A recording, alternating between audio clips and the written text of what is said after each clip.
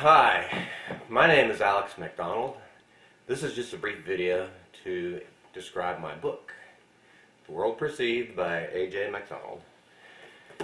It's uh, subtitled A Theological and Phenomenological Approach to Thinking, Perceiving, and Living in the World. I almost forgot. anyway, uh, what can I say? Uh, I spent four years writing this as well as working in uh, a full-time job and having a social life. And so I put a lot of work into this book. And for 16 bucks on Amazon, that's like 19.95 shipping and everything. It's uh, 275 pages. It's 249 pages of actual text. And uh, it's complete with the bibliography, footnotes, and everything else. And uh, I guess what I'd like to say is to try to describe something about the book. Uh, the best way for me to describe it is it's a theology book. It's really a book of very philosophical theology book, so it's really somewhat of a Christian philosophy. You don't hear that term very often, but it's a Christian philosophy. A lot of uh, philosophy in the book. But it is theologically based. I'm a Catholic, so it is Catholic theology based, which is the best kind of theology of all. so, because it's exhaustive. Anyway, uh, what I really attempt to do with the book is it's really designed for the seminary student who starts hearing all these things about science and atheism, especially the new atheism, naturalism, and all these things that a lot of people, especially young people, you know, and, and it is a, it's also a biblical theology. It's not a systematic theology. It's biblical theology, meaning it takes its information from the, the Bible.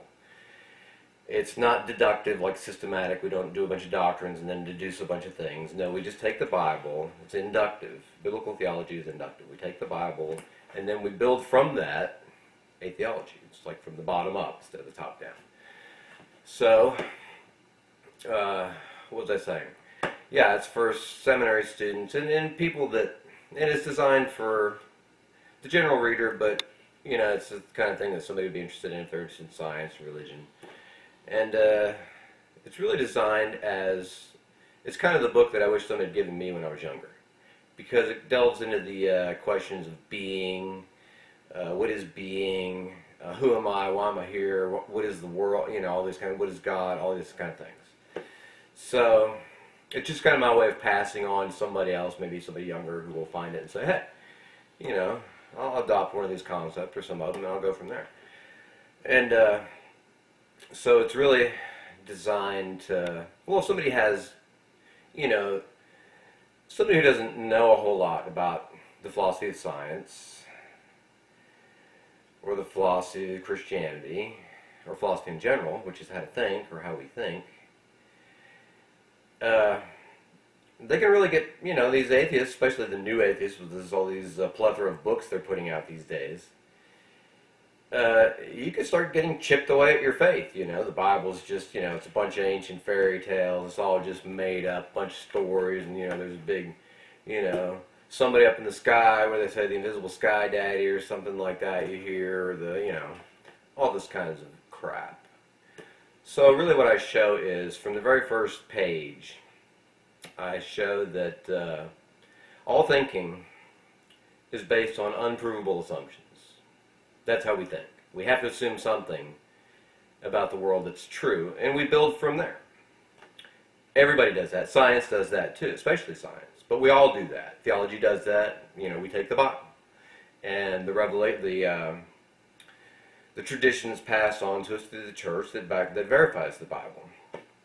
Uh, and scientists do the same thing. They assume the world is a physical world. It's not an illusion like the Hindus would think. It's a physical world and it has laws. That we have logic and we have mathematics, which are all based on assumptions. You can't science can't prove those things. It just is they just take them for granted and then they go from there. It's like Descartes never really stopped to examine his presuppositions about himself and the world. He just said, well, the world is, I am, so let's go from there. And, and we build this whole theory of, of uh, science on that. Science is especially shown to be, well, it's especially shown to be vulnerable when you deal with things like uh, morals, ethics, uh, things like aesthetics, what is beauty, what is goodness, what is justice, all these things, you can't put this under a microscope and, or into a computer and spit something out or under a microscope and see it, or a telescope. You know what I'm saying? You can't do a math equation come up with these kinds of things.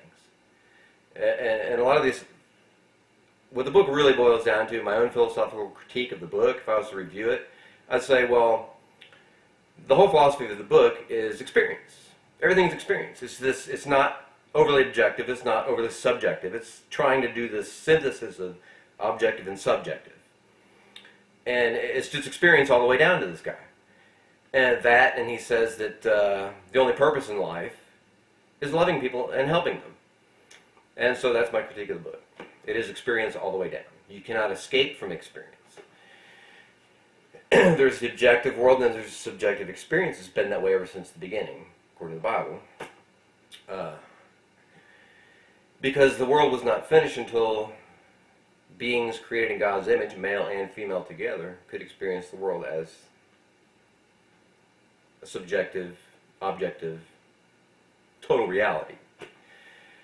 The Trinity is the same way. Father, Son, Holy Spirit it's this constant synthesis of God perceiving himself and his, if you could say, objective self and subjective self.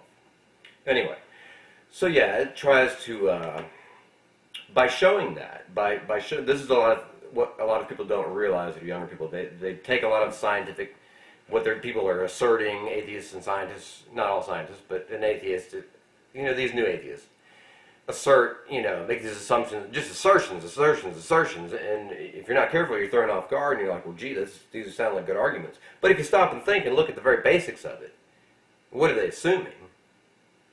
You know, it undercuts their whole thing. You know, just like they would try to undercut mine. Well, you believe the Bible's true. What if it's not?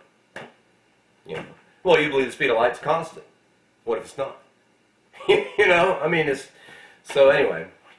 And yeah, I do. Uh, well, at the beginning of the book, I explain uh, what is theology, what is philosophy, or what is science, what is theology, and what is phenomenology, which is a philosophy, a relatively new, a postmodern philosophy, that really tries to approach uh, phenomenon as we experience it, based on how it appears to us. It's all about appearances. So the book has a lot about it, about appearances in the book as I said, everything's appearance and experience at bottom anyway, in my opinion. Anyway, I really flesh out through those parables, uh, the Good Samaritan uh, especially, uh, the kind of pe person that Christ wants us all to be, which is to be a loving, caring, a good, decent, honest person.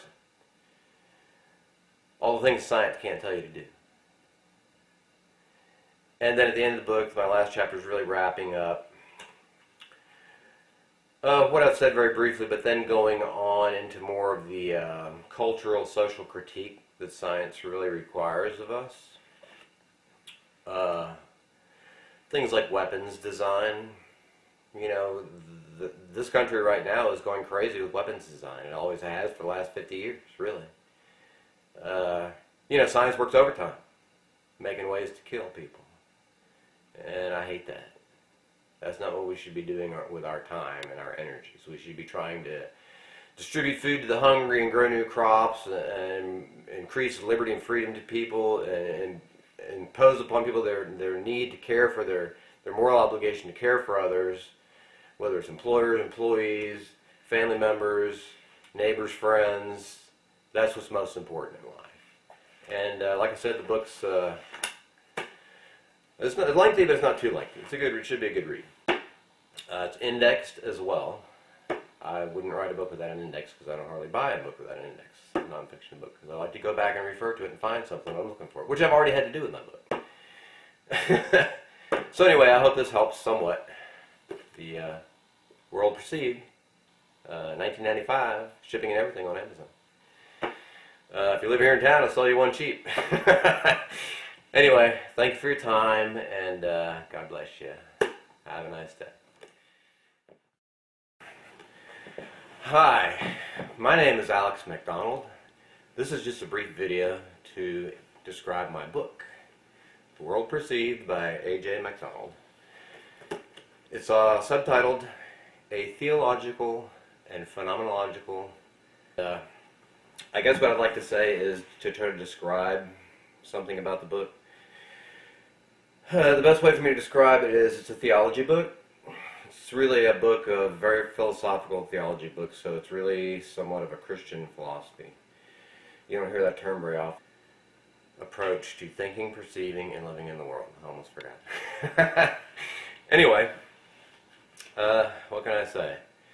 Uh, I spent four years writing this, as well as working in uh, a full-time job and having a social life. And so I put a lot of work into this book. And for 16 bucks on Amazon, that's like 19.95 shipping and everything. It's uh, 275 pages. It's 249 pages of actual text. And uh, it's complete with the bibliography, footnotes, and everything else. And uh, but it's Christian philosophy. A lot of uh, philosophy in the book, but it is theologically based. I am a Catholic, so it is Catholic theology based, which is the best kind of theology of all. so, because it's exhaustive